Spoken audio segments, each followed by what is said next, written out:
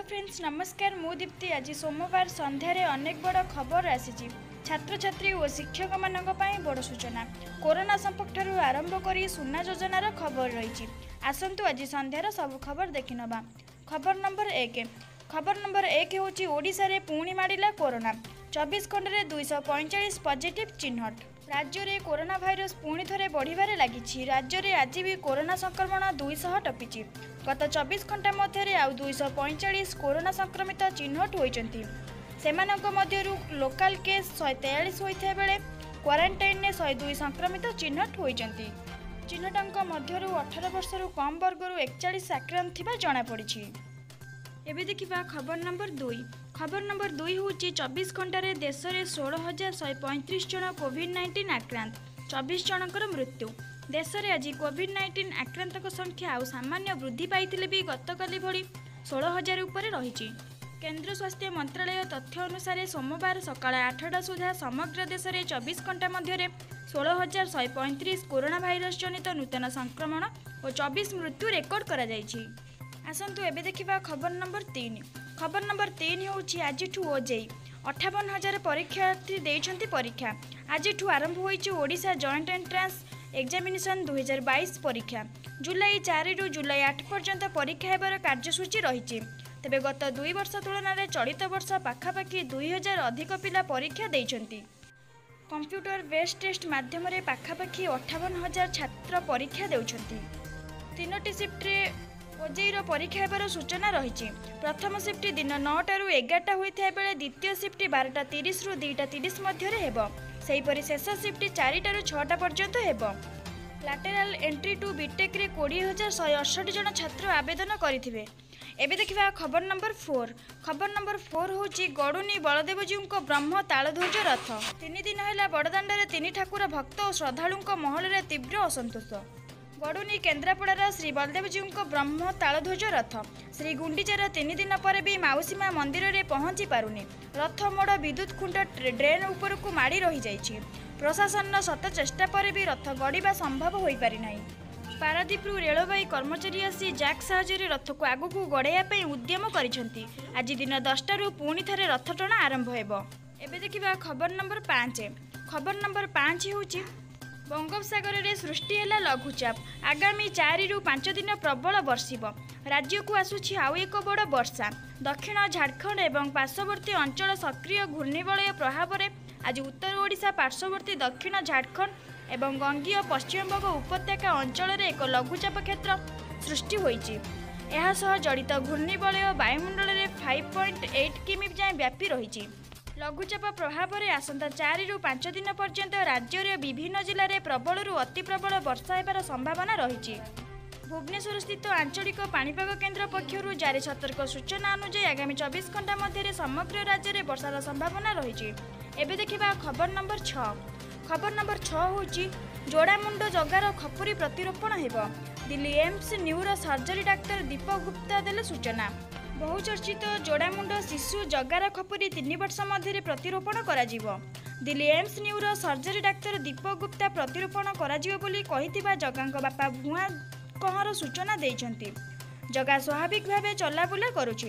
ତାର ସ୍ୱାସ୍ଥ୍ୟ ଅବସ୍ଥା ଭଲ ରହିଛି ବୋଲି ନିୟମିତ ଭାବେ ଯାଞ୍ଚ କରୁଥିବା ଦିଲ୍ଲୀ ଏମ୍ସ କହିଛନ୍ତି। ଏବେ ଦେଖିବା ଖବର ନମ୍ବର ସାତ। ଖବର ନମ୍ବର ସାତ ହେଉଛି ହ୍ୱାଟ୍ସଆପ୍ରେ ମିଳିବ ଅନଲାଇନ୍ ଷ୍ଟାଟସ୍ ଲୁଚାଇବା ସୁବିଧା। ବିଶ୍ୱର ସର୍ବାଧିକ ବ୍ୟବହାର ହେଉଥିବା ମୋବାଇଲ ମେସେଜିଂ ଆପ୍ ହ୍ୱାଟ୍ସଆପ୍କୁ ଅନଲାଇନ୍ ଷ୍ଟାଟସ୍ ଲୁଚାଇବା ସୁବିଧା ପ୍ରଦାନ କରିବାକୁ ଯାଉଛି। ଏହି ସୁବିଧା ଆପ୍ରେ ଉପଲବ୍ଧ ହେବା ପରେ ବ୍ୟବହାରକାରୀମାନେ ଅତି ସହଜରେ ନିଜର ଷ୍ଟାଟସ୍ ଲୁଚାଇ ପାରିବେ। ଯେଉଁମାନେ ସେମାନଙ୍କ କଣ୍ଟାକ୍ଟ ତାଲିକାରେ ନାହାନ୍ତି ସେମାନେ ବ୍ୟକ୍ତି ଜଣକ ଅନଲାଇନ୍ ଅଛନ୍ତି ନା ନାହିଁ ତାହା ଜାଣିପାରିବେ ନାହିଁ। ଏବେ ଦେଖିବା ଖବର ନମ୍ବର ଆଠ। ଖବର ନମ୍ବର ଆଠ ହେଉଛି ଜାଣନ୍ତୁ ଆପଣଙ୍କ ସହରରେ କେତେ ରହିଛି ଆଜିର ସୁନାର ଦାମ। ପ୍ରତ୍ୟେକ ଦିନ ପେଟ୍ରୋଲ ଓ ଡିଜେଲ ପରି ସୁନା ଓ ରୂପା ଦର ମଧ୍ୟ ବଦଳିଥାଏ।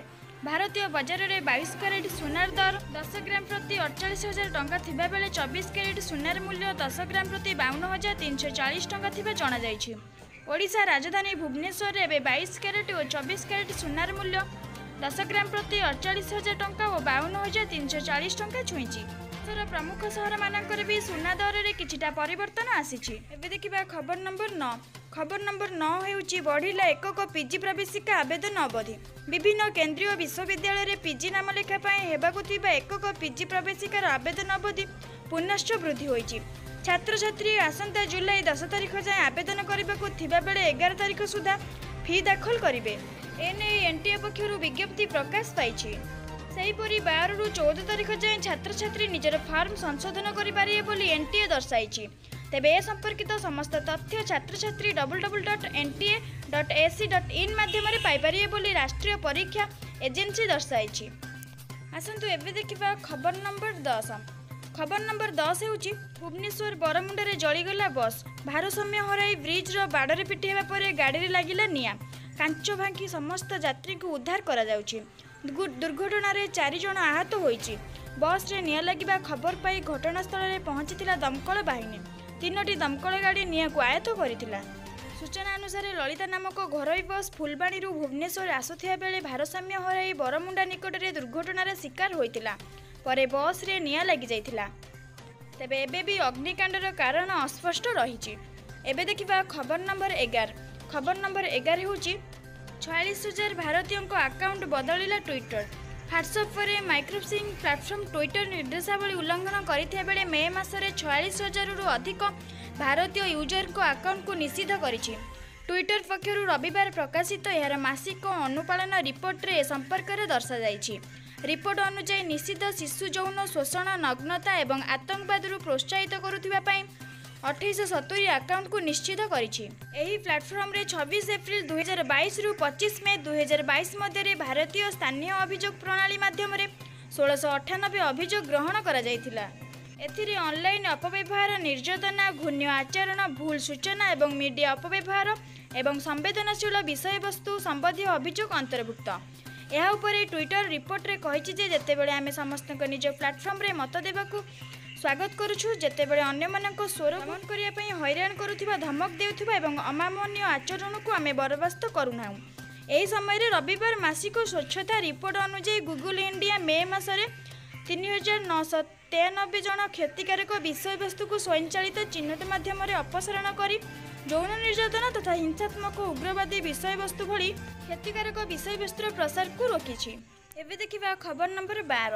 ଖବର ନମ୍ବର ବାର ହେଉଛି ପନ୍ଦର ବର୍ଷରୁ କମ୍ ଏସିଆନ୍ ରେସଲିଂ ଚାମ୍ପିଅନସିପ୍ ଭାରତକୁ ମିଳିଲା ଦୁଇ ସ୍ୱର୍ଣ୍ଣ ସହିତ ଆଠ ପଦକ।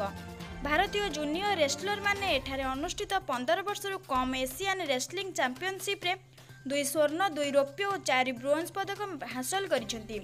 ତେବେ ଏହି ସଫଳତା ସହିତ ଭାରତ ପଦକ ହାସଲରେ ଶହେ ବାସ୍ତରି ପଏଣ୍ଟ ପାଇଁ ତୃତୀୟ ସ୍ଥାନରେ ରହିଛି। ଇରାନ ସର୍ବାଧିକ ଦୁଇଶହ ପାଞ୍ଚ କାଜାଖସ୍ତାନ ଶହେ ବୟାନବେ ପଏଣ୍ଟ ସହିତ ପ୍ରଥମ ଓ ଦ୍ୱିତୀୟ ସ୍ଥାନ ଅକ୍ତିଆର କରିଛନ୍ତି। ଶନିବାର ଦିନ ଅନୁଷ୍ଠିତ ଗ୍ରୀଷ୍ମ ରୋମାନ କ୍ୟାଟେଗୋରୀର ଦଶ ୱାଇଟ୍ ଇଭେଣ୍ଟରେ ଭାରତୀୟ ପୁରୁଷ ଦଳ ଆଠ ପଦକ ପାଇଥିଲେ।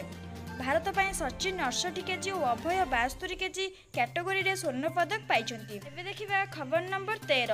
ଖବର ନମ୍ବର ତେର ହେଉଛି ମାଗଣା ଯୋଜନା ଉପରେ ପୁନର୍ବିଚାର କରନ୍ତୁ ସରକାର। ସରକାରଙ୍କ ବିଭିନ୍ନ ମାଗଣା ଯୋଜନା ଲୋକଙ୍କୁ କର୍ମ ପ୍ରତି ବିମୁଖ କରୁଛି। ବିନା ପରିଶ୍ରମରେ ଖାଦ୍ୟ ମିଳିଯାଉଥିବାରୁ କାମ କରିବା ପାଇଁ କେହି ଆଗ୍ରହ ପ୍ରକାଶ କରୁନାହାନ୍ତି। ଏହା ସହ ପ୍ରକୃତ ହିତାଧିକାରୀଙ୍କ ପରିବର୍ତ୍ତେ କିଛି ଅସାଧୁ ଧନିକ ଶ୍ରେଣୀର ଲୋକ ମଧ୍ୟ ଏହିସବୁ ଯୋଜନାର ଫାଇଦା ଉଠାଉଛନ୍ତି। ଏହାର ସଠିକ୍ ତଦାରଖ ହେଉନି। ତେଣୁ ଏହି ଯୋଜନା ସମ୍ପୂର୍ଣ୍ଣ ବନ୍ଦ କରାଯାଉ ଏଥିରେ ବ୍ୟୟ ହେଉଥିବା ଅର୍ଥକୁ ବେକାରୀ ଦୂରୀକରଣ ଏବଂ ଅନ୍ୟ ଉନ୍ନତିମୂଳକ କାର୍ଯ୍ୟରେ ବିନିଯୋଗ କରିବା ଆବଶ୍ୟକ। ନଚେତ ଆଗାମୀ ଦିନରେ ଏହି ଯୋଜନା ଯୋଗୁଁ ଦେଶର ଭୟଙ୍କର ଆର୍ଥିକ ସଙ୍କଟ ଦେଖାଦେବ। ଦେଖିବା ଖବର ନମ୍ବର ଚଉଦ। ଖବର ନମ୍ବର ଚଉଦ ହେଉଛି ମାଟ୍ରିକ୍ ରେଜଲ୍ଟ ବାହାରିବା ନେଇ ତାରିଖ ଘୋଷଣା। ଆସନ୍ତା ଛଅ ତାରିଖ ପ୍ରକାଶ ପାଇବ ମ୍ୟାଟ୍ରିକ୍ ରେଜଲ୍ଟ ଛଅ ତାରିଖ ଦିନ ଗୋଟାଏ ବେଳେ ମ୍ୟାଟ୍ରିକ୍ ରେଜଲ୍ଟ ପ୍ରକାଶ ପାଇବ। ଏ ନେଇ ବିଦ୍ୟାଳୟ ଓ ଗଣଶିକ୍ଷା ମନ୍ତ୍ରୀ ସମୀର ଦାସ ସୂଚନା ଦେଇଛନ୍ତି। ସୂଚନା ଅନୁସାରେ କରୋନା ପାଇଁ ଗତ ଦୁଇ ବର୍ଷ ପରେ ଅଫ୍ଲାଇନ୍ ପରୀକ୍ଷା ହୋଇଥିଲା। ଚଳିତ ବର୍ଷ ପାଞ୍ଚ ଲକ୍ଷରୁ ଅଧିକ ଛାତ୍ରଛାତ୍ରୀ ପରୀକ୍ଷା ଦେଇଥିଲେ। ଏପ୍ରିଲ ଅଣତିରିଶରୁ ଆରମ୍ଭ ହୋଇ ମେ ସାତରେ ସରିଥିଲା ମେଟ୍ରିକ୍ ପରୀକ୍ଷା। ସକାଳ ଆଠଟାରୁ ଆରମ୍ଭ ହୋଇଥିଲା ପରୀକ୍ଷା।